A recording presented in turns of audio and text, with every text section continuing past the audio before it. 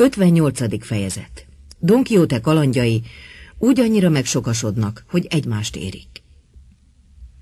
Amint Don Quixote megint a nyílt mezőségre jutott, s megszabadult, megmenekült Altisidóra szerelmes ostromától, úgy érezte, most van igazán elemében, lelkében egészen újjászületett, hogy ismét folytathatja lovagi tiszte teendőit. Odafordult Sanchohoz, s így szólt. A szabadság, Sancho, az egyik legdrágább adomány, amit az egek az embereknek ajándékoztak. Még hasonlítani se lehet hozzá a föld vagy a tenger rejtett kincseit. A szabadságért, a becsületért bátran kockára lehet, sőt, kell tenni életünket. Ám a rabság a legnagyobb szerencsétlenség, ami embert érhet. Azért említem ezt, Sancho, mert magad is jól láttad, milyen kényelemben s bőségben éltünk ebben a kastélyban, ahonnan én eltávoztunk. És én a bőséges lakomák és üdítőitalok mellett mégis úgy érzem, mintha az éjség kínjait állnám ki, semmit se élvezhettem olyan szabadon, mintha az enyém lett volna. Hiszen a nyert kegy és jó tétemény lekötelez, viszonzást vár, valósággal bilincs, és nem hagyja szabadon szárnyra kelni a szellemet. Boldog lehetsz, hogy az ég akár egy falatka kenyeret juttatott, de úgy, hogy senkinek ne tartoz hálával, csak a gondviselésnek. Igaz, amit kegyelmed mond, jegyezte meg Sancho, de mégse volna rendjén, ha nem éreznénk hálát azért a kétszáz aranytallérért, amit egy kis zacskóban a herceg udvarmestere nyomott a markomba. Szív erősítőnek, s búfelejtőül itt hordom a szívem fölött, minden eshetőségre készen, mert nem akadunk ám mindig kastélyokra, ahol megvendégelnek bennünket, hanem néha-néha csak olyan fogadókra, ahol jól elzsanakolnak. A kóbor lovag meg a csatlósa ilyen is hasonló beszélgetések közben talán egy mérföldnyi utat tehetett meg, amikor egy zöld gyepes rétecskén 10-12 parasztembert pillantottak meg. A parasztok szűrükre telepedve falatoztak. Valami más is volt mellettük, fehér vászonlepedőkkel leborítva. A lepedők csúcsosan megfeszültek. Don Quixote a falatozókhoz lépett, s elöljáróban udvariasan köszöntvén őket, megkérdezte tőlük, mi van a vászonlepedők alatt. Az egyik ember így felelt. Ezek alatt a lepedők alatt, uram, domborművű, faragott képek vannak, a falukban épített oltárhoz valók. Azért takartuk le őket, hogy színüket ne veszítsék, és azért visszük vállon, hogy el ne törjenek. Ha megengednék, felelte Don Quixote. Nagyon szeretném megnézni a képeket, mert ha ilyen gondosan szállítják őket, bizonyára szépek lehetnek. Ha megengednék, felelte Don Quixote. De még milyen szépek, felelt egy másik paraszt. És még azt is megmondhatom, mibe kerültek, mert nincs köztük egyetlen egy se, amelyik ötven aranynál olcsóbb lenne. S hogy kegyelmed is meggyőződjék, hogy igazat mondtam, várjon kissé, mindjárt saját szemével láthatja. Ezzel félbeszakítva étkezését felállt, s levette a lepedőt az első faragványról, mely Szent Györgyöt ábrázolt a lóháton, lábánál összetekeredő sárkány kígyóval. A sárkány torkát dárda verte át, oly kegyetlenül, ahogy általában ábrázolni szokták. Az egész aranyozott kép szinte vakított. Don Quixote ezt jegyezte meg. Ez a lovag az egyik legjelesebb kóbor volt az egész mennyei seregben. Don San Jorgénak nevezték, s különösen bátor védelmezője volt a szűzeknek. Lássuk a másikat. Az ember leleplezte, az meg Szent Mártont ábrázolta lóháton, amint a köpenyegének felét odaadja egy szegény embernek. Alig, hogy Don Quixote meglátta, így szólt. Ez a lovag is a keresztény kalandosok közé tartozott, csak hogy azt hiszem nagyobb volt a bőkezűsége, mint a bátorsága, amit abból is láthatsz, Sancho, hogy megosztja a szegényel köpönyegét, és odaadja neki a felét.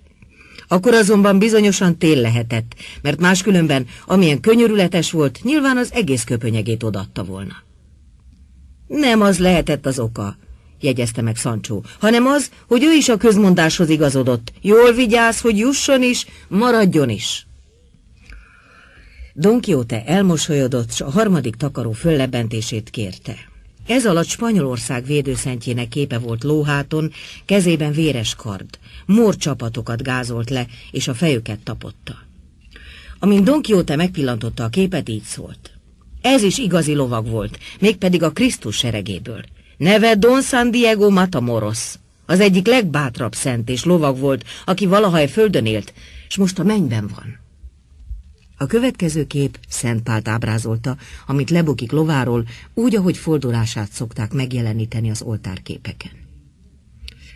Amikor Don Quixote látta, hogy ez a kép olyan, mintha élne, úgyhogy az ember bízvást ráfoghatta volna, Krisztus beszél, Pál felel neki, így szólt.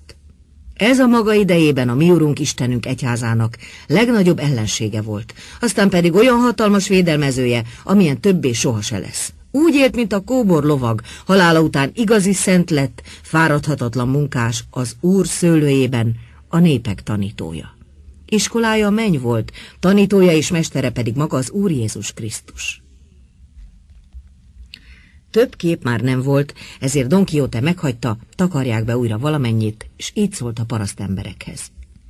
Jó jelnek tartom, atyám fiai, hogy láttam, amit láttam, mert ezek a szentek és lovagok is annak éltek, aminek én élek. A fegyverforgatásnak. Csak hogy köztünk az a különbség, hogy ők szentek voltak és isteni módon harcoltak, én pedig bűnös vagyok, s emberi módon harcolok.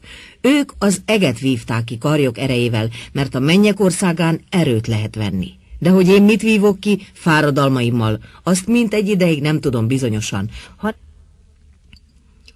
hanem csak szabaduljon meg az én Dulcineadel tobozom a szenvedéseitől. Akkor majd megenyhül a sorsom, s felderül értelmem világa. Akkor talán én is jobb útra térítem lépteimet, mint mostani utam. Adja Isten, és kopjon föl az ördög álla, jegyezte meg Sancho. A parasztemberek épp úgy csodálkoztak Don Quixote külsején, mint szavain, bár a felét se értették. Falatozásukat befejezték, vállukra vették képeiket, és Don Quixote-tól elbúcsúzva folytatták útjokat. Szancsónak megint úgy tetszett, mintha urát soha se ismerte volna. Csak bámult tudományán, mert azt hitte, nem lehet a világon olyan történet vagy esemény, amely gazdájának a kisújjába ne volna, amire ne emlékeznék. Igazán, kedves uram, ha ezt is kalannak lehet nevezni, ami most történt velünk, ez a legkellemesebb és legtisztességesebb kaland valamennyi közt. Egész barangolásunk során. Most legalább se meg nem raktak, se nem ránk ijesztettek, se kardot nem rántottunk, se a földre nem teremtettek, de még csak meg se éheztünk mellette.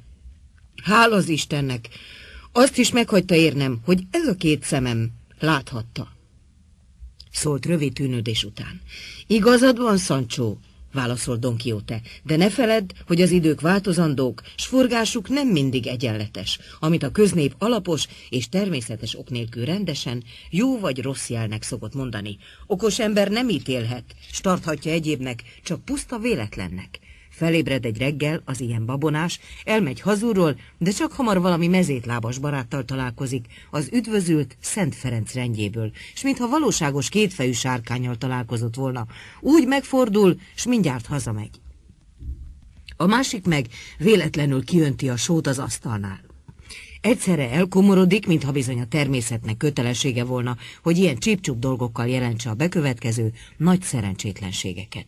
A józan keresztény embernek nem szabad ilyen tépelődőknek lennie, hogy az ég mit akar, mit nem. Scipio megérkezik Afrikába, partra ugrik, s elesik.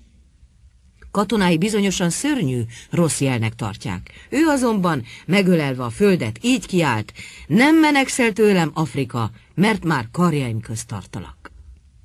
Éppen itt számomra is szerencsés véletlen volt, Szancsó, hogy ezekkel a szentképekkel találkoztam. Magam is azt hiszem, felelte Szancsó. Csak azt szeretném, ha kigyelmed megmondaná, mi az oka annak, hogy amikor a spanyolok harcba rohannak, San Diego Matamaroshoz fohászkodva, így kiáltanak Santiago és zárulj spanyolhon. Hát Spanyolország tárva nyitva van talán, hogy be kell zárni, vagy miféle hókusz-pókusz ez? Ó, mi együgyű vagy te, Sancsó, válaszol Don Quixote. Jegyezd meg, hogy ezt a vörös keresztes nagy lovagot Isten adta Spanyolországnak, védőszentjeként és őrizőjeként, különösen azokban a rettenetes tuságban, amelyeket a spanyolok a mórokkal vívtak. Azért fohászkodnak minden csatában ő hozzá, mint védelmezőjükhöz, s gyakran látták is, hogy valósággal megjelent, s törte, zúzta, gázolta, öldökölte a pogány hadsorokat. Sok példát említhetnék ennek igazolására, mert az igaz spanyol történetek is feljegyzik. Szancsó más tárgyra terelte a szót. Nem győzök csodálkozni Altisidórának, a hercegnő komornájának vakmerőségén. Azt ugyancsak jól megsebesíthette, s átverhette az a bizonyos ámor, akiről azt mondják, hogy valami vaksi gyerek. Csipás, vagyis jobban mondva világtalan, de ha valami szívet célba vesz, akármilyen kicsi, azt bizony eltalálja, és át tudja lőni nyilaival. Igaz, ugyan azt is hallottam, hogy a szűzek szemérmetességén startózkodásán eltompulnak, s lelankadnak Ámor szerelmes nyilai. De ezen az Altiszidórán úgy látszik, inkább még hegyesebbé váltak, sem hogy eltompultak volna. Tudd meg, Sancho, mondta Don Quixote, a szerelem semmire se tekint, s nyilatkozataiban nem marad a józanság határain belül. Szakasztott olyan, mint a halál. Éppen úgy megrohanja a királyok magas tornyait, mint a pásztorok alacsony kunyhóját. S ha már hatalmába kerítette a szívet, legelőször is a tartózkodást és szemérmetességet öli meg. Altiszidóra is azért dobott félre minden tartózkodást, szemérmet, mikor óhajtását megvallotta, úgy, hogy az én szívemben inkább zavart, mint rokonérzést keltett. Szörnyű kegyetlenség mondta Szancsó. Hallatlan hálátlanság. Engem bizony rabjává, jobbágyává tett volna egyetlen halk, szerelmes szava is. Ej, a szajhafatja, milyen márvány szív, milyen vas akarat, milyen szikla lélek kell ehhez. Csak azt nem tudom, mit talált ez a leányzó kegyelmedben, ami ennyire elragadta és meghódította.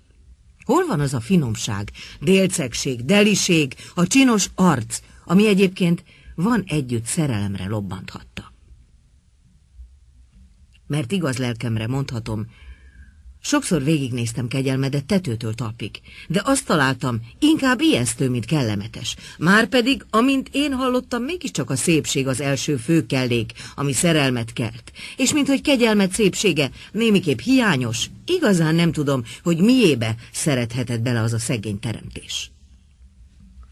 Jegyezd meg, Sancho, válaszol Don Quixote, hogy a szépség kétféle, az egyik a lelki, a másik a testi szépség.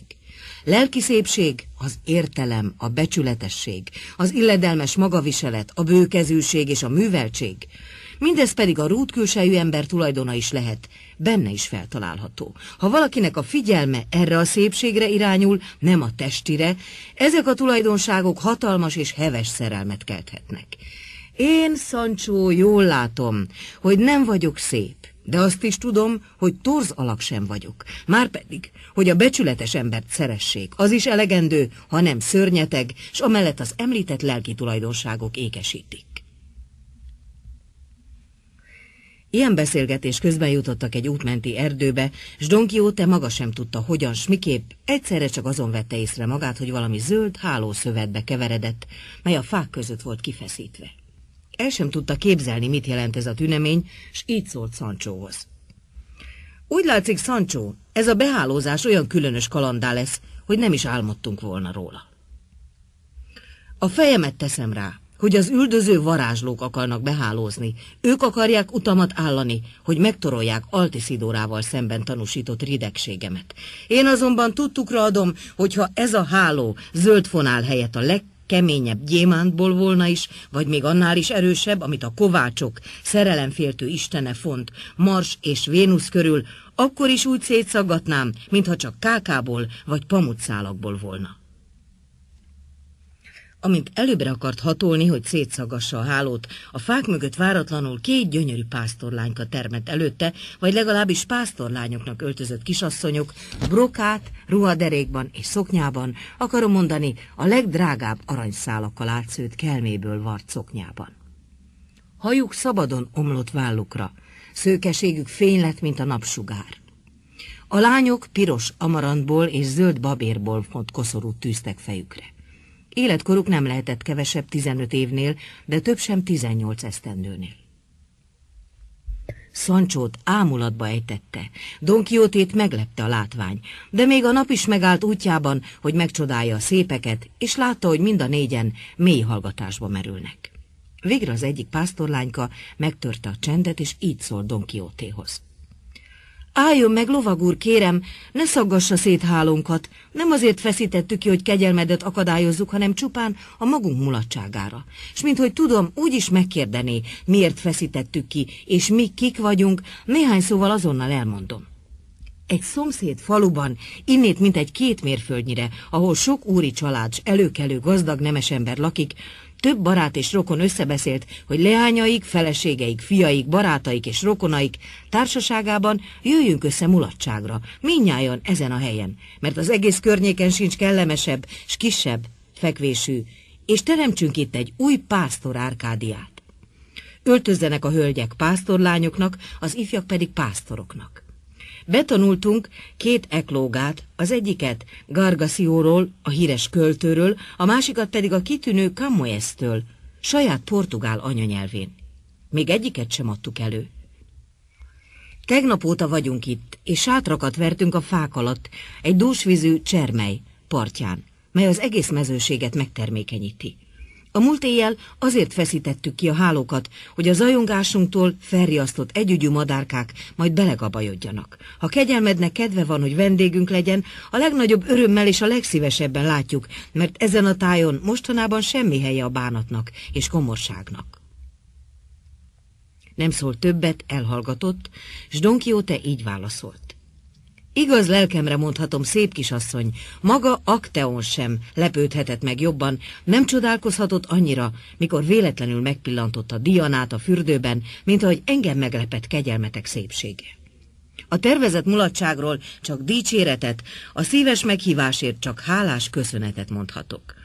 Ha valamilyen szolgálatot tehetek, parancsoljanak velem, és bizonyosak lehetnek, hogy engedelmeskedem, hisz éppen az a tisztem, hogy mindenkihez hálás, mindenkinek jótevője legyek, főleg ha olyan előkelő személyekkel állok szemben, mint kegyelmetek. S ha ez a háló, mely bizonyára kicsiny területet fog körül, az egész földkerekséget bekeríteni, én inkább új világokat keresnék fel utam folytatására, csak hogy széjjel ne szaggassam ezt a hálót s hogy ennek a látszólagos túlzásnak némi hitelt szerezzek.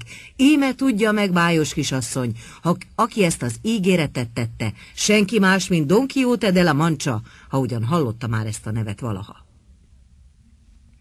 Jaj, kedves lelkem, barátnőm! Kiáltott fel a másik pásztorleány. Milyen nagy szerencsében részesültünk. Látod itt ezt az urat? Tudd meg, hogy ez a legbátrabb, legszerelmesebb lovag a világon, ha ugyan a hőstetteiről nyomtatásban is megjelent történet, amit én magam is olvastam, nem ámít el és nem csal meg bennünket. S fogadni mernék, hogy kísérője ez a derék ember, ama bizonyos Sancho Panza, a lovag fegyverhordozója. És Sancho tréfái párjukat ritkítják. Szent igaz, szólt most közbe Sancho, én vagyok az a mulatságos fegyverhordozó. Ez az úr meg az én gazdám, Don Quixote de la Mancha. Róla szól, és róla emlékezik meg a történet. Jaj, kedves barátnőm, mondta a másik lány, kérjük meg őket, maradjanak. Szüleink és testvéreink kimondhatatlanul örülnének, mert én is ugyanazt hallottam hősiességükről, s mulatságos voltukról, mint te, s mindenek fölött azt mondják, hogy nincs Don Quixote-nál hívebb és szerelmesebb lovag, hogy imádottja egy bizonyos Dulcinea del Tobozó. Neki nyújtja egész Spanyolország a szépség pálmáját. Mégpedig méltán, mondta Don Quixote, ha csak kegyelmetek páratlan szépsége kétségessé nem teszi. De ne fárasszák magukat, hölgyeim, azzal, hogy engem tartóztassanak. Az én hivatásom szigorú kötelességei sehol sem hagynak nyugton engem. Eközben érkezett oda a két lánykához egyikük testvérbátyja, szintén pásztornak öltözve, mégpedig épp oly pompásan és gazdagon, mint a pásztorlányok. A kisasszonyok elmondták neki, hogy a bátor Don Quixote de la Mancsával és Sanchóval áll szemben. Hírből bizonyára ismeri őket, hiszen olvasta történetüket. Az illedelmes pásztor üdvözölte Don Quixote-t, felkérte, látogassa meg sátrában. Don Quixote nem térhetett ki, és elfogadta a meghívást. Nem sokára megkezdődött a hajtás, s a hálóba sok madárka keveredett, elámította őket a háló színe. A veszélytől menekültek, és kelepcébe estek. Valami harminc személy gyűlt össze ezen a helyen, mind fényes ruhában, pásztornak és pásztorlánynak öltözve, és egy pillanat alatt valamennyien értesültek, hogy Don Quixote és fegyverhordozója van itt. A hírnek szer fölött megörültek, hiszen történetükből már ismerték őket. Valamennyien a sátorok köré gyűltek, már várták őket a bőségesen és gazdagon terített asztalok. Don Quixote-t a főhelyjel tisztelték meg, mindenki szeme rajta függött, s mind csodálkoztak külsején. Végre aztán, midőn az ebédnek vége lett, Don Quixote nagy nyugalommal fölemelte szavát, így szólt. A főben járó bűnök között, amelyeket az emberek szoktak elkövetni, bár némelyek a kevésséget tartják a legsúlyosabbnak, én a hálátlanságot említem első helyen. Állításom bizonyságául az ismert mondásra hivatkozom, a pokol hálátlanokkal van tele. Ezt a bűnt, amennyire csak erőmtől telt, mindig kerülni akartam, attól a pillanattól fogva, amióta csak eszemet bírom. S ha talán nem tudom is hasonló jótéteményekkel viszonozni, s velem tett jókat, legalább megvan bennem a jó szándék, hogy viszonozzam, s ha ez nem elegendő, akkor elhíreztelem a jó tetteket, mert ha valaki elmondja, s nyilvánosság elé tárja a véletett jókat, kétségkívül vissza is fizetné, ha módjában állana, hiszen az elfogadó fél rendszerint mélyebben áll, mint a jótevő, s így Isten is mindenek fölött való, mert mindenekkel jót cselekszik. Az emberek jótéteményeit nem lehet az Istenével összehasonlítani, hiszen oly végtelen a távolság közöttük, azonban e viszonzás szűk és csekély voltát legalább részben pótolja a hála érzete. Mint hogy engem is mély hálára kötelez a kegy jele, amelyel itt megörvendeztettek, de hasonló mértékben vissza nem fizethettem, kénytelen vagyok lehetőségeim szűk korlátaim belül maradni, s azt ajánlani fel viszonzásul, ami csekélységemtől kitelik. Ezért mondom, hogy mától számítva két állónapig a Zaragózából vívő országút kellős közepén nyilvánosan hirdetem és állítom, hogy a jelenlévő parasztleánykáknak öltözött kisasszonyoknál sem szebb, sem udvariasabb hölgyek nincsenek az egész kerek világon, a páratlan Dulcinea del Tobozónak gondolataim egyetlen úrnőjének kivételével, amit kegyes engedelmükkel hozzáfűzök. Szancsó feszült figyelemmel hallgatta végig, majd hangosan így szólt. Lehetséges-e hát, hogy mégis van a világon, aki azt merészeli vallani és állítani, hogy az én gazdám sült bolond? Mondják meg, kérem, kegyelmetek, pásztorurak, van-e olyan falusi pap, akármilyen okos és tanult ember is, hogy így ki tudja kanyarintani, ahogy az én uram kanyarintotta? Avagy van-e kóbor lovag, akármilyen nagy hírben áll is a bátorsága, hogy olyan ajánlatot merészelt volna tenni, amilyent az én gazdám tett? Don Quixote haragtól lángoló arccal fordult Sancho felé, és rárivalt. S lehetséges-e, Sancho, hogy valaki azt nem mondja, hogy te bolond vagy, tetőtől talpig bolondsággal bélelt, s mit tudom én, mi minden gassággal és ármányossággal megkenegetett? Ki engedte meg néked, hogy az én ügyembe belekanalaz, s azt feszegesd, okos vagyok-e vagy esztelen? Hallgass, ne felesej. Nyergeld meg Rozinantét, s ugyan már lekantároztad, s aztán gyerünk és tartsuk meg most az ígéretemet. Az igazság az én oldalamon áll, már most akárki bátran legyőzöttnek tekinthetsz, ha ellene maradna. Nagy hevesen, haragosan felpattant a székről, a jelenlevők csodálkoznak, mert csak ugyan nem tudták, okosnak tartsák-e vagy eszelősnek, mindenáron rá akarták venni, álljon el szándékától, úgyis meggyőzte őket hálás jóindulatáról, bátor szívének pedig semmi szüksége, hogy igazolja magát, hiszen mellette bizonyít a hőstetteiről szóló történet. Don Quixote azonban nem tágított, hanem Rozinantéra pattanva, pajzsát karjára fűzte, dárdáját kezébe ragadta, s kiállt az országút közepére a zöld mezőség közelében. Szancsó követte kedves szürkéjén, de utánuk ment az egész pásztor társaság is, valamennyien kíváncsiak voltak, hogy mi lesz majd ebből a vakmerő és soha nem látott fogadkozásból. Amint említettük, Don Quixote kiállt az országút közepére, és a következő szavakat harsogta a levegőbe. Ti utasok és vándorok, lovagok, fegyvernökök, gyalogosok vagy lóháton járók, ha ezen az úton szembe jöttök, vagy a következő két napon jönni fogtok, tudjátok meg, itt áll a kóborlovag Don Quixote de la Mancha, hogy megvédelmezze állítását. A világ minden szépségén és udvariasságán túltesz, e völgyeken és ligetekben lakozó nimfáké, az én szívem hölgyét, a páratlan Dulcinea del Tobozóét kivéve. Ha valaki más nézetem volna, álljon ki velem, itt várom. Két ízben is megismételte ezeket a szavakat, de egyszer sem hallotta meg semmiféle kalandos. Azonban a sors is az ő szekerét tolta, és úgy rendelte, hogy nem sokára egész csoport lovas ember tűnjék föl az országúton. Soknál lándzsa volt, de minnyáján egymás mellett csapatban, vágtában haladtak. Alig, hogy a Don Quixote körül állók megpillantották a csapatot, mindjárt hátat fordítottak, s messzire eltakarodtak az útszéltől, mert azt gyanították, valami baj érheti őket, ha tovább is ott időznek. Csak Don Quixote maradt nyugton, rettenthetetlen szívvel, Sancho Panza pedig a Rozinante faránál keresett menedéket. A lándzsás sereg sebesen közelített, s az illovas már messziről harsány hangon rákiáltott Don Quixote-ra. Hord el magad az útból, ördögatta, mert ezek a bikák izzé porrázóznak. Csak rajta csőcselék, felelte Don Quixote. Félek is én a ti bikáitoktól, még ha a legderekabbak volnának is, amelyek valaha a Jarama partján nevelkedtek. Valljátok be, gonosztevők, teketória nélkül, hogy igaz az, amit én itt hirdettem, mert ha nem, akkor ki a síkra ellenem?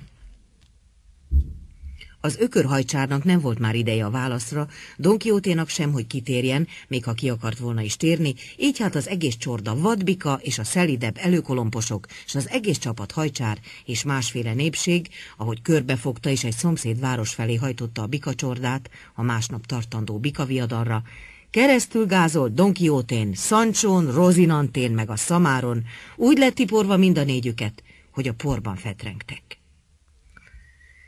Szancsót megállapították, Don Quixote alig tudott felocsúdni, a szamarat porhányóvá dagasztották, de még Rozinanténak sem állt jobban a szénája.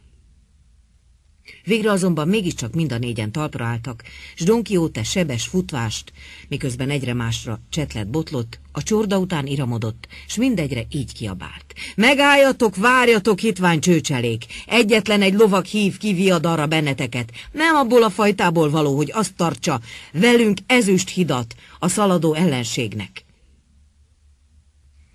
de a csordapásztorok, hiszen sietős volt az útjuk, bizony csak nem álltak meg, s annyiba se vették fenyegetését, mint a tavalyi mennydörgést.